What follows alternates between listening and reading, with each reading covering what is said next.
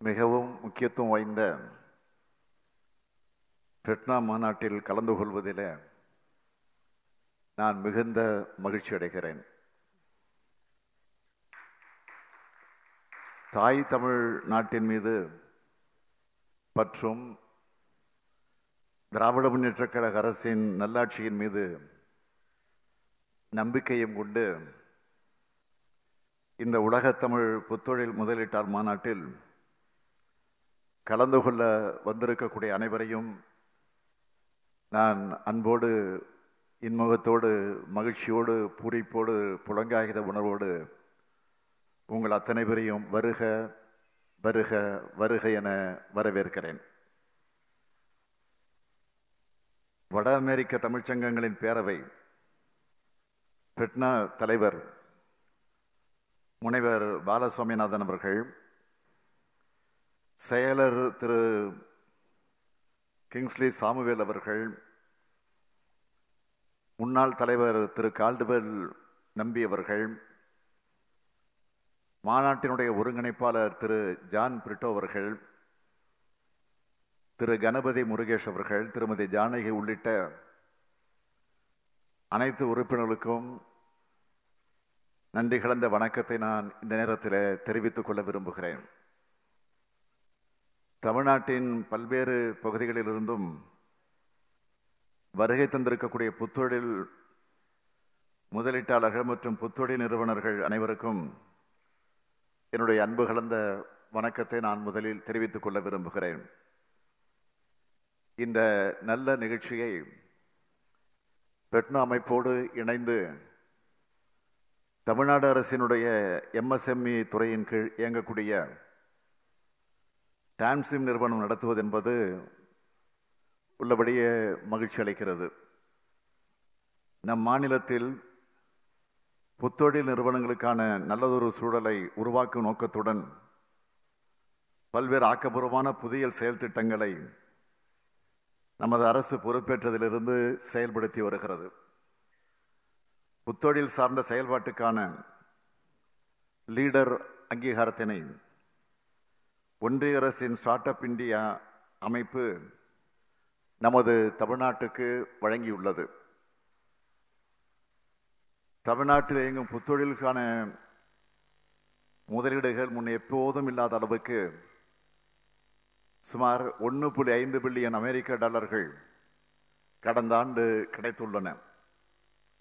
இது ரெண்டாயிரத்தி இருபத்தோராம் ஆண்டை ஒப்பிடும்போது எழுபது விழுக்காடு அதிகமாகும். இந்தியாவில் புத்தொழில் முதலீடுகளை அதிகம் இருக்கும் பெங்களூரு மும்பை டெல்லி போன்ற நகரங்களில் இந்த விழுக்காடு கடந்த ஆண்டு எதிர்மறையாக இருந்தது.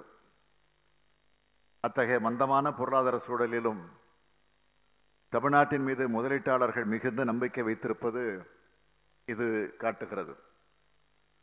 புத்தொழில் சார்ந்த முன்னெடுப்புகளில் மட்டுமல்ல ஒட்டுமொத்த வளர்ச்சியிலும் தமிழ்நாடு முன்னணி மாநிலமாக இருப்பதை அண்மையில் இந்தியா டுடே என்ற ஏட்டின் ஆய்வறிக்கை கூறியதை நீங்கள் எல்லாம் நன்கு அறிவீர்கள். தொழில்கள் தொடங்கி நடவதற்கு நடத்துவதற்கான இலகுவான சூழலை அமைத்திருப்பதிலும் ஈஸ் ஆஃப் டூயிங் பிஸ்னஸ் பதிமூன்றாம் இடத்திலிருந்து மூன்றாம் இடத்திற்கு தமிழ்நாட்டை நாம் மேம்படுத்தி இருக்கிறோம் புதுயுக தொழில்களை உருவாக்கவும் வளர்த்தெடுக்கவும் பல்வேறு முன்னோடி செயல் திட்டங்களை நமது அரசு நடைமுறைப்படுத்தி வருகிறது. ஆராய்ச்சி மற்றும் மேம்பாட்டுக்கான கொள்கை வான்வெளி மற்றும் பாதுகாப்பு தொழில் கொள்கை ஆகியவை உருவாக்கப்பட்டுள்ளது. பசுமை தொழில்நுட்பம் ஊரக வாழ்வாதார மேம்பாடு மற்றும் பெண்களை முதன்மை பங்குதாரர்களாக கொண்ட புத்தொழில் நிறுவனங்களுக்கு சிறப்பு சலுகை தொகுப்பான அரசாணை ஒன்றும் அண்மையில் வெளியிடப்பட்டது. இதனை அனைவரும் பயன்படுத்தி கொள்ள வேண்டும். அனைத்து துறை வளர்ச்சியை இலக்காக கொண்டது நமது அரசு. அதில் தொழில்துறை மிக முக்கிய பங்கை வகிக்கிறது. அனைத்து விதமான தொழில்களும் வளர வேண்டும். அனைத்து மாவட்டங்களுக்கும் அது பரவ வேண்டும். புத்தாக்க தொழில்கள் அனைத்தும் சிறக்க வேண்டும். இதற்காக புத்தொழில் மற்றும் புத்தாக்க துறையிலும் மாநிலம் முழுவதும் பரவலான வளர்ச்சி ஏற்பட ஏதுவாக வட்டார புத்தொழில் மையங்கள் மதுரை திருநெல்வேலி மற்றும் ஈரோடு மாவட்டங்களில் உருவாக்கப்பட்டுள்ளன. பட்டியலினத்தவர் பழங்குடியினர் பிரிவுகளை சார்ந்தவர்கள் நடத்தும் புத்தொழில் நிறுவனங்களில் பங்கு முதலீடு செய்யும் பொருட்டு முப்பது கோடி ரூபாய் நிதி உருவாக்கப்பட்டுள்ளது. தொடக்கநிலை புத்தொழில் நிறுவனங்களுக்காக வழங்கப்படும் மானியங்களில் பெண்களுக்கும் இரண்டாம் மூன்றாம் கட்ட நகரங்களில் இருந்து செயல்படும் நிறுவனங்களுக்கும் உரிய முக்கியத்துவம் தரப்படுகிறது. வளர்ந்து வரும் நவீன தொழில்நுட்பங்களை உருவாக்க நிறுவனங்களை முதலீடு செய்யும் நோக்கத்தோடு நூறு கோடி ரூபாய் நிதி ஒன்றும் தொடங்கப்பட்டுள்ளது.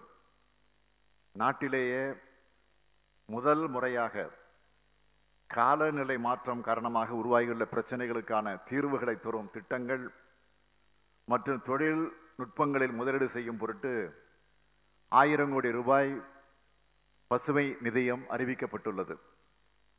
அரசின் சார்பில் நடத்தப்பட்டு வரும் இதுபோன்ற பல்வேறு ஆக்கபூர்வமான முயற்சிகளில் உலகளாவிய தமிழ் முதலீட்டாளர்களும் பெருமளவில் பங்கு பெற வேண்டும் என்று நான் விரும்புகிறேன்.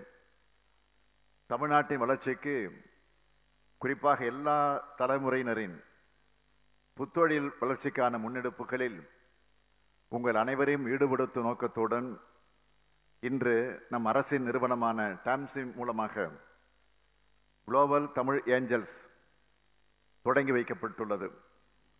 இது உள்ளபடி எனக்கு பெருமையாக இருக்கிறது. இதன் மூலம் உலகெங்கும் வாழும் முதலீடு செய்யும் சக்தி படைத்த தமிழர்கள் நம் மாநிலத்தில் செயல்படும் புத்தொழில் நிறுவனங்களில் முதலீடு செய்யும் வாய்ப்பு மட்டுமில்லாது அவர்களுக்கு வழிகாட்டியாகவும் செயல்பட முடியும்.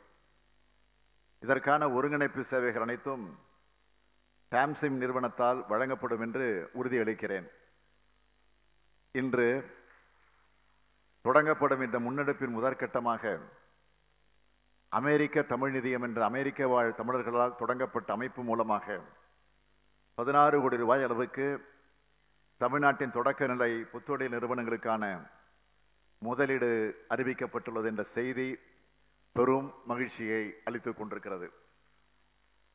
இந்த முன்னெடுப்பில் ஈடுபட்டிருக்கக்கூடிய அனைவருக்கும் என் மனமார்ந்த நன்றிகளை நான் தெரிவித்துக் கொள்கிறேன். வட அமெரிக்க வாழ் தமிழர்கள் பெருமளவில் இந்த நல்ல நோக்கத்துக்காக இங்கே நேரில் வந்து இந்த நல்ல முயற்சியை தொடங்கி வைத்திருப்பது நாட்டிலேயே ஒரு முன்மாதிரி திட்டம் என்று நான் நினைக்கிறேன். இந்த நிகழ்வு பற்றிய செய்தி பல்வேறு நாடுகளில் வாழும் சக்தி வாய்ந்த தமிழகத்தில் பரவும் என்று நான் உறுதியாக நம்புகிறேன். தமிழ்நாட்டின் புதுயுக தொழில் முனைவுகளில் உலகெங்கும் வாழும் தமிழர்கள் பங்கு பெற வேண்டுமாய் இன்று நல்லதொரு விதை விதைக்கப்பட்டுள்ளது.